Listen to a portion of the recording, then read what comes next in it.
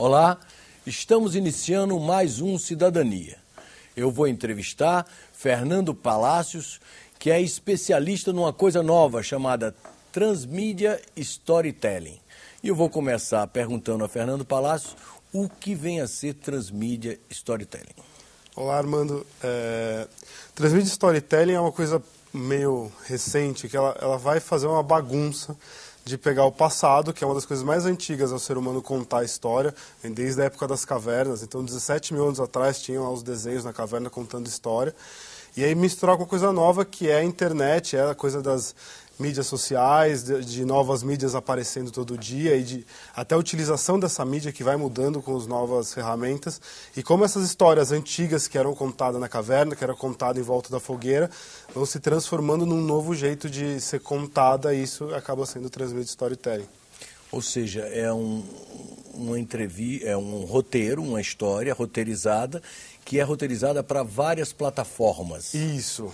Por exemplo, celular, internet, filme, livro. É, é e com um detalhe é que essa vira, acaba virando uma história bem grande e que cada parte dela é contada numa mídia diferente. Então você tem um personagem que ele é que ele está no celular, a história dele acontece no celular. Aí tem outro que está na, na, revista em quadrinho, aí tem um outro que está na série na internet. E tudo isso, eles separados funcionam sozinhos, mas juntos eles viram uma grande história. Então esse é o, o... E como surgiu isso? E onde surgiu isso? Isso, na verdade, se você for ver, a, as religiões elas têm um formato muito parecido com essa, assim, de, é, de contar várias histórias, aquela história dela em vários formatos diferentes. Então, o que aconteceu e tem no vitral, você tem na, a, os próprios livros sagrados, você tem várias formas diferentes de contar aquela história. Então, assim, isso já, na verdade, é uma coisa antiga. O Transmídia Storytelling desse digital começa muito recentemente, aí tem 10 anos, começa com o Matrix, o filme, que eh, teve o primeiro filme, que é a história do personagem que está dentro do computador. Aí do primeiro para o segundo filme, eles criaram várias histórias paralelas que explicavam essa passagem. Então tinha o videogame que contava uma parte, aí tinha a, animações que contavam outra, que assim, é, só para acho que explicar que eu acho que fica um claro. pouco mais, mais claro. Então o primeiro filme termina com ele liga no telefone. Você chegou a ver o filme? Não, não cheguei. Tá, então eu vou contar bem por cima a história.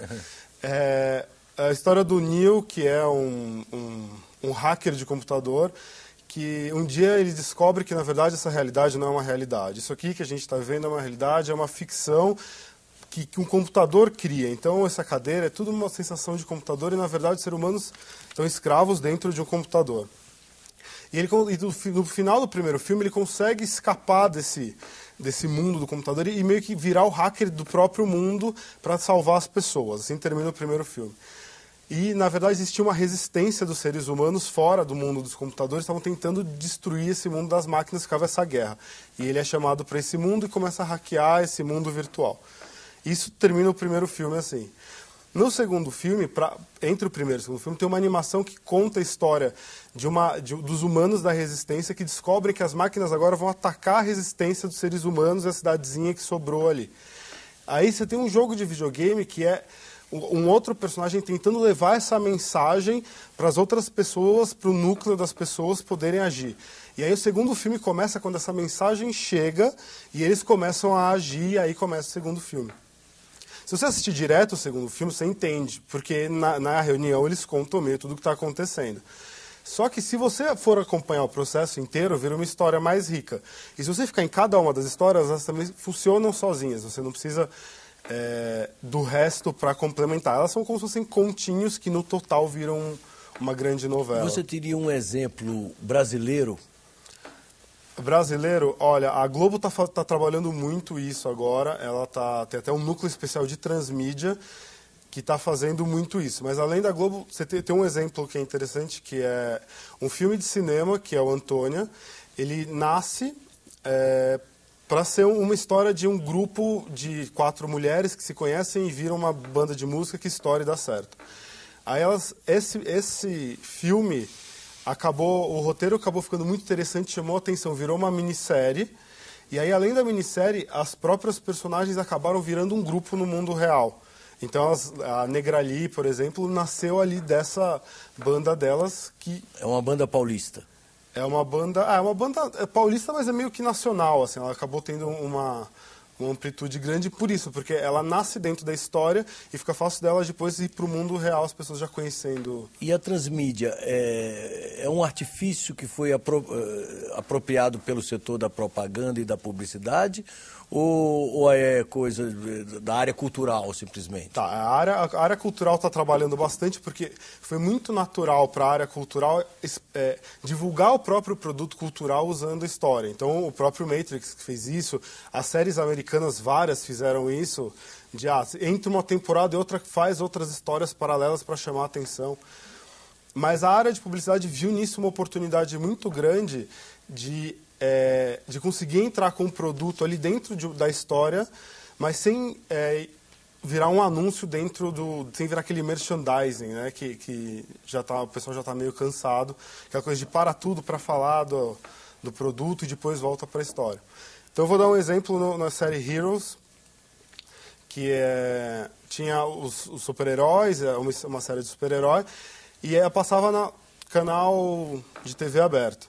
Aí eles fizeram uma história, um dos personagens era um quadrinista, e a história em quadrinhos que ele criava ia para fora, pra, ia para a internet como um produto história em quadrinhos. E essa história em quadrinhos foi patrocinada pelo, pela Nissan, que aí ela pega e entra dentro das histórias da história em quadrinho. E a repercussão foi tão boa porque ela acabou pro, é, pro, proporcionando esse produto cultural de graça, então ela financiou esse produto cultural e as pessoas foram e baixaram, tiveram milhares de downloads, então foi um grande sucesso também de público. Então aí os dois lados meio que ganharam e depois a, a... E essa tendência hoje, ela está disseminada no mundo inteiro é uma, ou ainda é restrita a alguns países? Ainda, ela, ela ainda está tá engatinhando em vários países, mas todos os países estão olhando para isso, porque a partir do momento que você cria um, um universo ficcional, né, um, uma área para trabalhar em cima, fica mais fácil de você ir agregando outras coisas em volta e depois ir ramificando. É mais fácil do que toda vez você ter que criar uma história nova cada vez que você vai contar em um, em um lugar diferente. Você já parte, você já tem um começo para começar a contar. E até assim, o próprio storytelling, ele, ele ajuda muito a vender as coisas. Na verdade, a publicidade se apropriou muito por causa disso. E aí vem da história do Aladdin da Disney, por exemplo. Qual que é a história do Aladdin? Tem gente que vai dizer que ah, a história do Aladdin é um, é um romance, né? Uma, uma, história de amor da menina que era filha do, do, do sheik e de um, de um vagabundo que eles se conhecem, se apaixonam e é um, meio que um amor proibido, uma coisa meio Hamlet. Esse pode dizer que é, essa é uma história. Tem gente que vai falar que não, que é uma história de autoconhecimento, dele querendo saber o que ele realmente quer para poder escolher os desejos dele na lâmpada. Tem gente que vai falar que não, que é um duelo entre o bem e o mal, que aí tem o Jafar, que ele, vai, ele quer, na verdade, impedir, quer se virar um grande poderoso, então é a briga do Aladim contra o Jafar. Mas, na verdade, não é nada disso a história. A história é uma história de venda. Você começa e aí tem lá um vendedor que está falando, olha, pega isso, pega aquilo, a câmera está... Você fala, não, pera, eu tenho uma coisa especial para você, tem essa lâmpada aqui. E toda a história do filme é para ele te vender aquela lâmpada, que é uma lâmpada especial, não é uma lâmpada qualquer. Então, na verdade, cê, cê, é, a história, na verdade, acaba virando uma ferramenta para você destacar alguma coisa e falar, não, isso não é uma coisa comum, não é uma lâmpada qualquer, é uma lâmpada que um dia morou o gênio e que esse gênio foi envolvido na história que mudou o mundo como a gente conhece. Então, por isso a publicidade acaba usando muito até o artifício de contar a história.